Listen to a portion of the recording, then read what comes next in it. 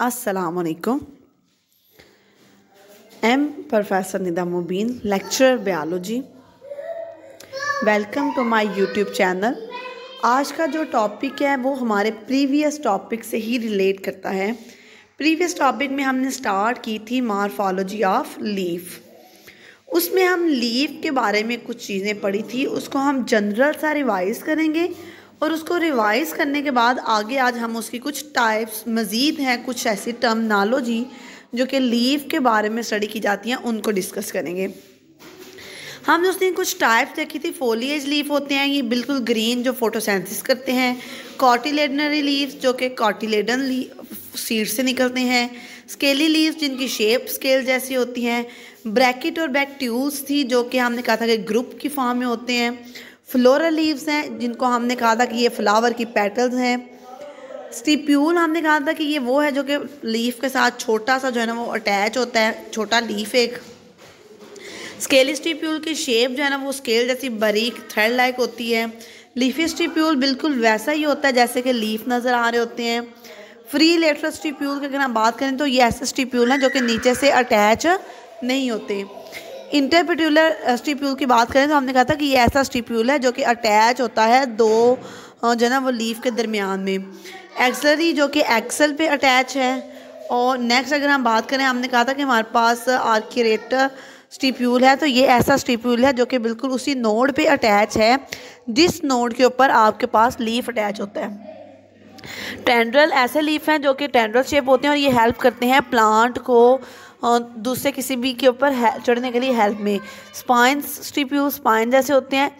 असल में आज जो टॉपिक हम मज़ीद इतना करने के बाद, अभी हमारा लीफ का टॉपिक कवर नहीं हुआ। उसी का नेक्स्ट पोर्शन है लीफ इंसर्शन इंसर्शन कहते हैं किसको हैं? इसको कहेंगे हम कि attachment of leaf on stem कि स्टेम के ऊपर लीफ किस तरह से अटैच है, इसको हम कहते हैं कि ये इंसर्शन ऑफ़ लीफ है।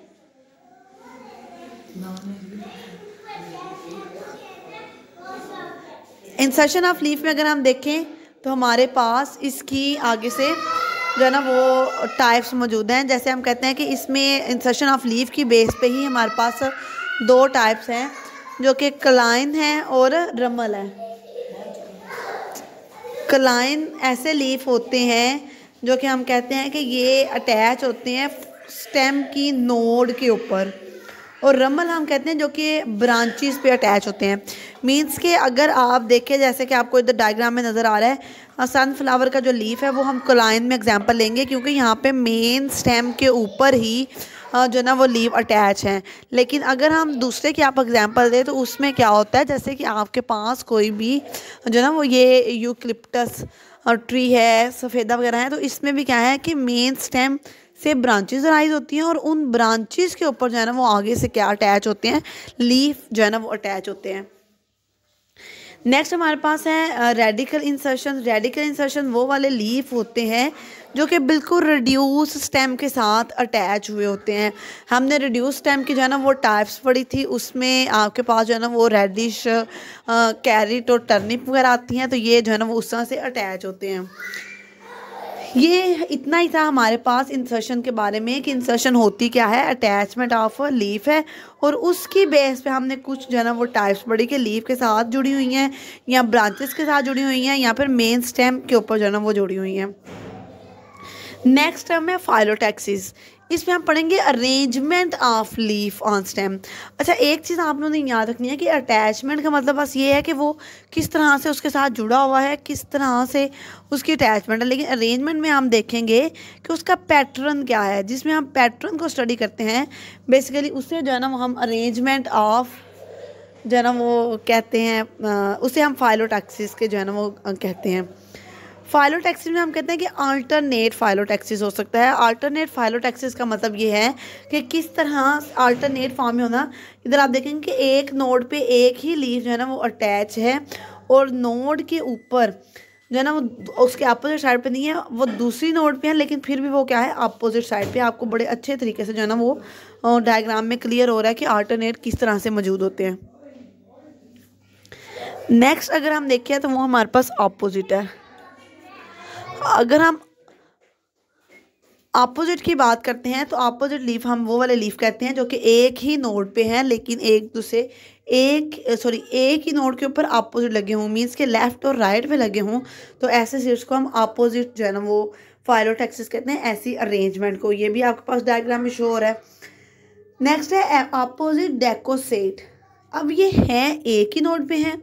है भी लेफ़्ट और राइट हैं, लेकिन इनका एंगल आपस में चेंज हो गया है। तो जब लीव की अरेंजमेंट का एंगल चेंज हो जाए लेकिन वो मौजूद अपोजिट ही हों तो उससे हम कहते हैं ये क्या है अपोजिट डेको सेट हैं। नेक्स्ट हमारे पास है opposite superposed opposite superposed की अगर हम बात करें तो हम कहते हैं कि ये हमारे पास वो वाले लीफ हैं जो कि एक दूसरे मतलब दोनों, ऐसा नहीं है कि एक ऊपर की तरफ़ और एक नीचे की तरफ़ होगा। एक ही नोड की तरफ़ होंगे और दोनों का जो ग्रोइंग स्टाइल है वो ये होगा कि वो ऊपर की तरफ़ जो है ना, वो क्या किए होंगे? ग्रो किए होंगे। नेक्स्ट अगर हम देखें तो इसे हम कहते हैं वर्ल्ड फाइलोटैक्सिस तो वर्ल्ड वर्ल्ड का मतलब वर्ल्ड से निकला है, वो वर्ल्ड नहीं होती जिसे आप कहते हैं कि एक पूरी अरेंजमेंट आप समझ लें कि एक पॉइंट होना और उसके इर्द गिर्द पत्तियों का अरेंज हुआ होना। तो हम कहते हैं कि ये एक वर्ल्ड जो है ना, वो क्या हुआ है? कंप्लीट हुआ है। तो इसे वर्ल्ड इसमें आपको ये डायग्राम में भी नज़र आ रहा है। नेक्स्ट है विनेशन एक हमने शुरू पे पढ़ लिया इंसर्शन के अरेंजमेंट अटैचमेंट कैसी है? फाइलोटैक्सी में हमने देख ली अरेंजमेंट नेक्स्ट है विनेशन विनेशन के नाम से शो है, इसमें हम देखेंगे अरेंजमेंट ऑफ़ वेन्स कि वेन्स की अरेंजमेंट किस तरह से है लीफ के ऊपर. अब लीफ की विनेशन में देखें, हम कहते हैं कि पैरल वेन है और नेटेड वेन है. अब ये वेन्स का मतलब वो आप ना लीफ पकड़े तो लीफ के अंदर भी आपको ऐसे वो लाइन्स सी नज़र आ रही होती हैं. बेसिकली वो वेन्स हैं, वो जालम और फ्लोइम है जिसके थ्रू जो है ना वो ट्रांसपोर्ट होता है वाटर फ़ूड और न्यूट्रेंट्स विनेशन में हम देखते हैं कि यूनिकास्टेड भी होते हैं और मल्टी कास्टेड असल में ये टाइप्स हैं पैरेलल विनेशन की। पैरेलल रिलेशन में हम कहेंगे, जैसे कि आपको डायग्राम में शो है कि जो वेन्स हैं, वो एक दूसरे के साथ पैरेलली प्रेजेंट हों तो उसे हम कहते हैं कि हमारे पास क्या है? पैरेलल है।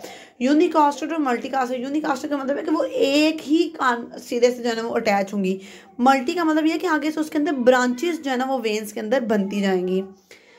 नेक्स्ट हमारे पास रेटिकुलेट विनेशन अगर अरेंजमेंट जो है ना वो वेब की तरह की हो, इन तमाम डायग्राम्स में आपको वेब जैसे वो नहीं होता स्पाइडर का जाला उस तरह के नज़र आ रहे हैं।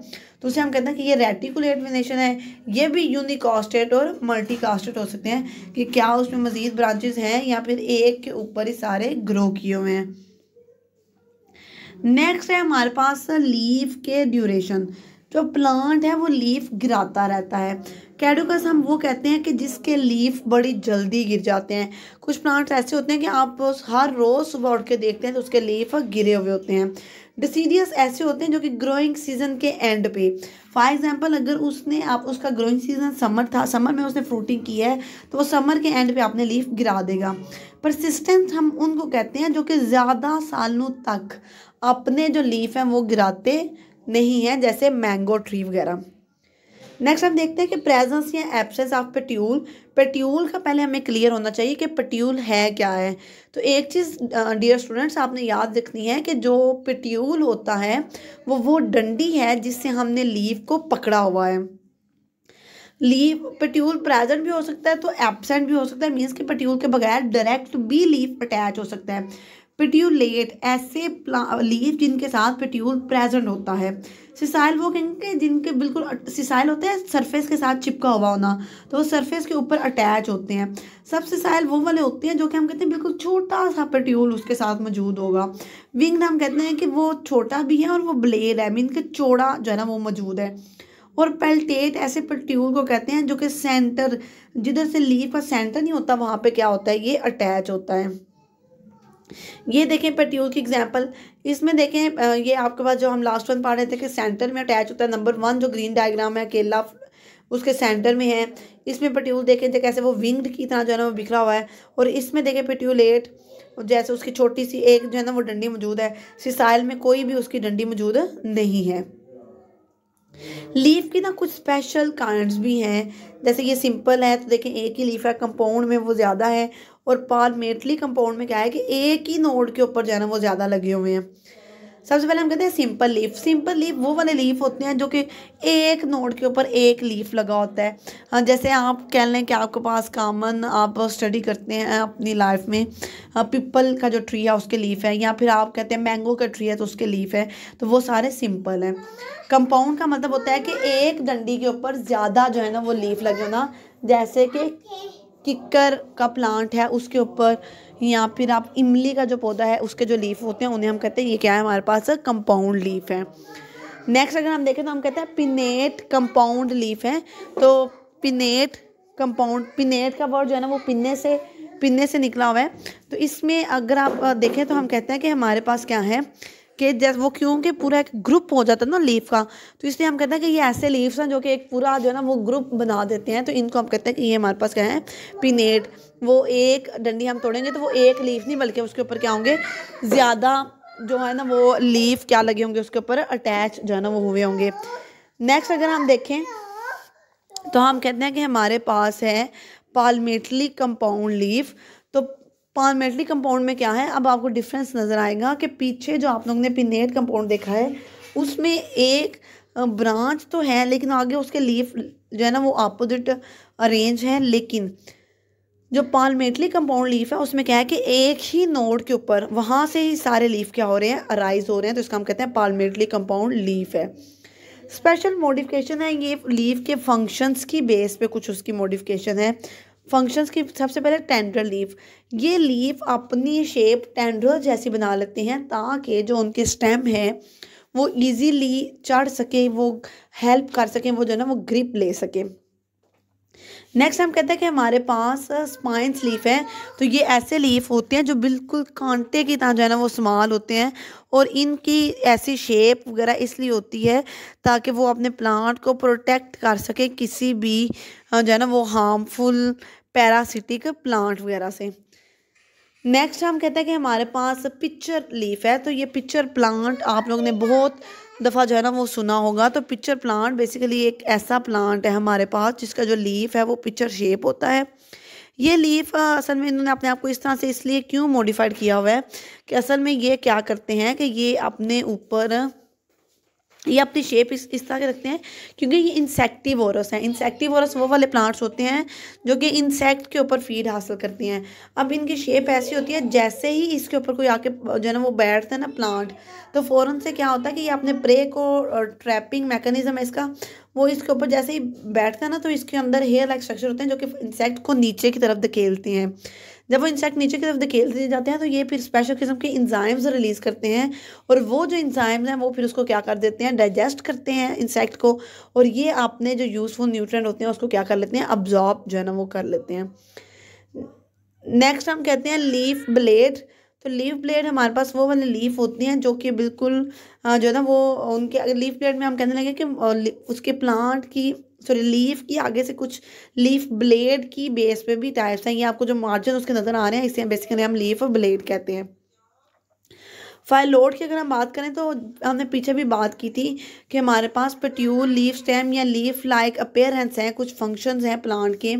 तो ये हमारे पास जो है ना वो लीफ और डिफरेंट किस्म की फाइलोड हम कहते हैं कि हमारे पास एक पूरा ग्रुप है कि जिसके अंदर तमाम प्लांट्स डिफरेंट डिफरेंट जो है ना वो, वो लीफ रखते हैं according to their need functions and modification thank you so much students I hope आप इंजॉय करेंगे इस लेक्चर को। ये बड़ा आपके लिए यूज़फुल होगा। और अगर किसी टॉपिक पे आप वीडियो चाह रहे हैं या आपको इससे रिलेटेड कोई क्वेश्चन है तो आप कमेंट्स में ज़रूर बताइएगा। और किसी टॉपिक अगर आप